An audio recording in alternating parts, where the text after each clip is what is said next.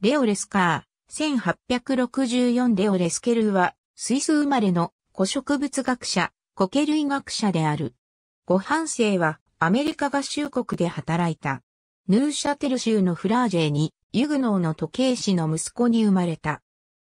ヌーシャテル大学で学び、同級生には、ルイ・アガシーの弟で、時計メーカーを創業するオーギュスト・アガシーや後に、アメリカに渡り、地質学者となるアーノルド・ギヨーがいた。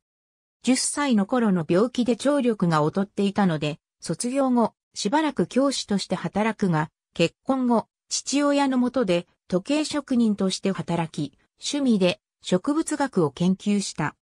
スイス政府がエネルギー供給の改善の他、データに関する検証論文を募集したのに応じて、賞を受賞するとともに、ルヤガシーに認められた。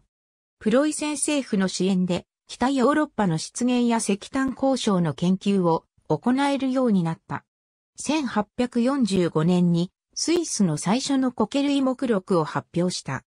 ストラスブールでゲオルク・ビルヘルム・シンパーと知り合った後、古植物学、石炭層内の化石植物にも興味を持った。ヨーロッパに波及した革命の影響で研究職を失い、技用とともに、すでにアメリカに渡っていたルイ・アガシーの誘いを受けて、アメリカに渡り、オハイオに住んだ。アガシーの標本の整理の仕事をした後、実業家で、苔類の研究家のウィリアム・スターリング・サリバントの著作のために働いた。1849年には、サリバントのためにアメリカ南部を調査した。時計商、宝石商として働きながら、苔類や化石植物の研究をし、各州の地質学者と個人研究者として1884年まで野外調査を行った。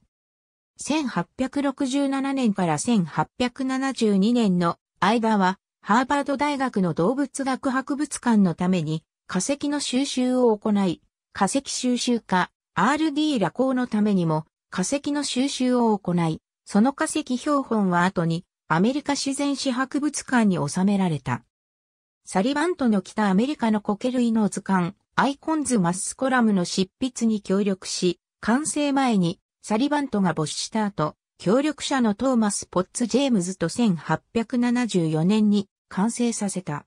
1861年にアメリカ哲学協会1864年に米国科学アカデミーの会員に選ばれた。油中の植物の俗名、レスカレラに命名された。レスクは植物の学名で命名者を示す場合に、レオレスケルーを示すのに使われる。ありがとうございます。